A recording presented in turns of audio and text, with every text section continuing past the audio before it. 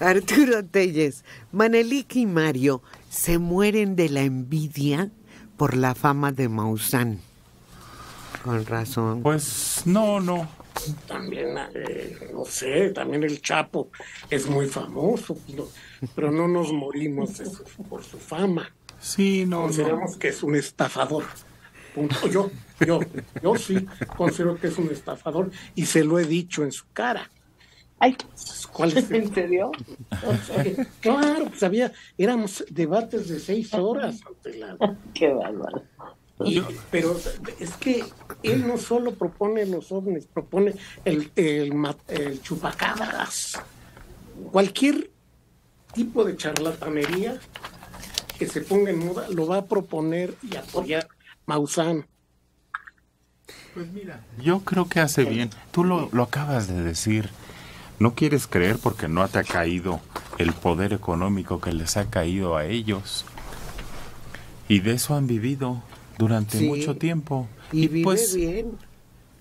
Es un negocio y qué bien, yo lo respeto mucho, le echa ganas, lo hace bien, se ha creado una reputación importante a nivel mundial como representante de eso.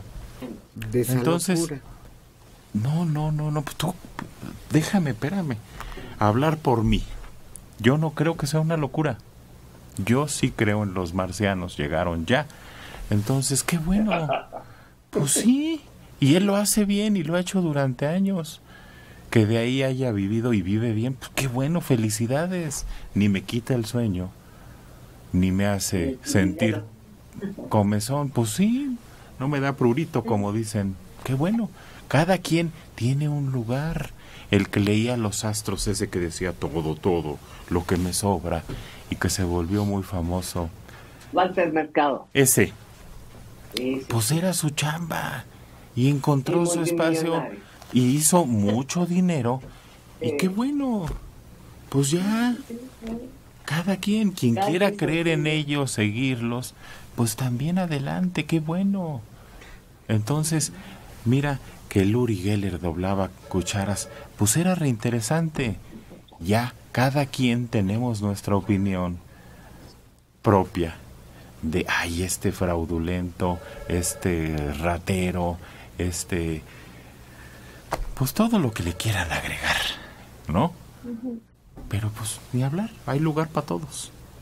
Estoy de acuerdo contigo, cada quien con su locura. Lo que a mí me molestó. Ah, bueno, entonces, lo que a ti te molestó. Por eso, pues, te lo voy a decir. es lo que, a mí me molestó es que los diputados que comen, visten y viajan con lo que yo pago de impuestos, pierdan el tiempo con este señor en la Cámara en lugar de estar discutiendo eh, cuestiones vitales para el país y estén perdiendo el tiempo con eso. Ya que Maussan haga lo que quiera, pues que lo siga haciendo, pero que no pierdan el tiempo los diputados con él. Si no hubiera ido, de todos modos no hubieran aprovechado el tiempo. Ese es el problema, que tampoco significa que por no ir hubieran, ay, hubiéramos avanzado ayer. Y no tienen sentido del ridículo. Exacto. Eso, que se presten a, la faramaya. realmente sorprende que haya ido Maussan. Si fue Goyo pues Cárdenas y le aplaudió la Exacto. y, entrado, y han entrado a caballo y se han puesto máscaras de cerdo y han acampado y, acuérdense los estos señores del maíz que llevó Jesús a Rodríguez este, que, parecían aliens, de hecho. O sea, en gran medida, el Congreso, la Cámara, sido un circo de tres pistas. es que ya no nos acordamos. Entonces, esto va a pasar, sí, yo estoy de acuerdo con Adela. Eh, deberían dedicarse a hacer eh, cosas importantes, a legislar, pero la mayor parte del tiempo no hacen eso. Hacen este tipo de cosas, sus shows, este, eh, cuando, acuérdense, el, pastel de cumpleaños que partieron ahí para López Obrador, no me acuerdo si el año pasado, y entonces se suspendió la sesión y pasaron al pleno con el pastel y, por ahí salía el papá de Checo Pérez. Ha sido un show tras un show, podría contarse a través de... Es un vodevil. Dora. Sí, ¿Por qué esperar que aprovechen el día de ayer en lugar de estar como están cuando tienen años, no cinco, años perdiendo el tiempo? Además, recuerden que esto eh, surge en los Estados Unidos en el Senado cuando se abren los documentos que estaban tan reservados para eh, comprobar que los objetos voladores no identificados existían.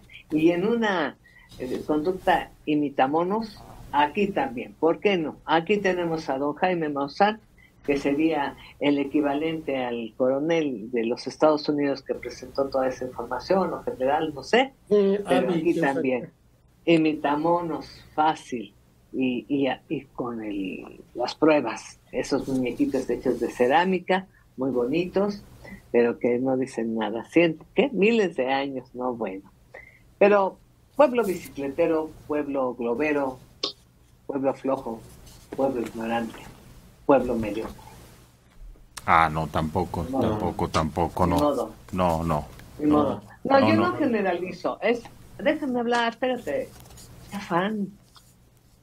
Ah, no estoy generalizando, estoy eh, diciendo algo que en un momento, si quieren quitar todos, el pueblo globero, el que se queda viendo aquel montón de globos que se eleva. A eso me refería. Que llamó tanto la atención la presentación de este señor que en un momento es el tema. Así de sencillo. ¿Ya? Ya, gracias. No estoy de acuerdo yo de ninguna manera con ese insulto ruin de pueblo globero. ¿Agustín tampoco?